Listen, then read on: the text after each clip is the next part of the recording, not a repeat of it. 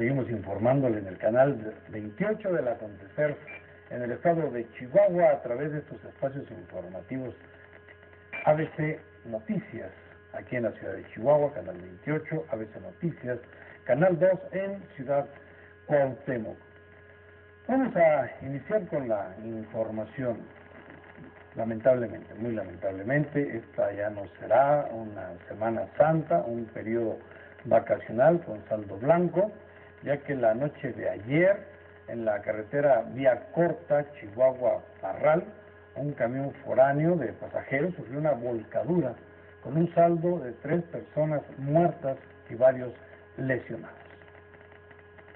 Este periodo vacacional de Semana Santa ya no tendrá un saldo blanco, a pesar de los esfuerzos y operativos que realizan las autoridades de los tres niveles de gobierno.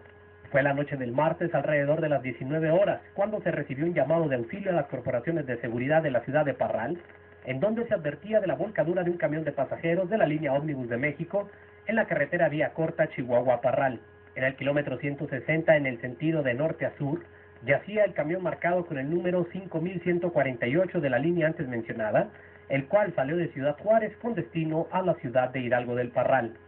Ahí, al interior del camión fallecieron tres personas, entre ellas Guillermina Nájera, de 50 años de edad, una mujer activa de la política en Santa Bárbara, donde era candidata a regidora. También falleció Javier Zaragoza, un residente de la ciudad de Parral, y otro hombre joven, el cual permanece en calidad de desconocido. Otras seis personas resultaron con lesiones, por lo que fueron llevadas a un hospital de la ciudad de Parral para su atención médica y ser escuchados en declaración. Las causas del accidente aún no se han determinado y las autoridades solo confirman la detención del chofer del autobús, el cual también resultó con lesiones graves. Autoridades estatales mencionaron que redoblarán los operativos de vigilancia en las carreteras y verificarán en coordinación con la Secretaría de Comunicaciones y Transportes las condiciones de los choferes a fin de evitar más accidentes en esta temporada vacacional que apenas comienza. ABC Noticias.